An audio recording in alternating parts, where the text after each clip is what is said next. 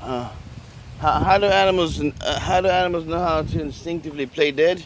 Because they're smart, man. They have the brains of a scientist.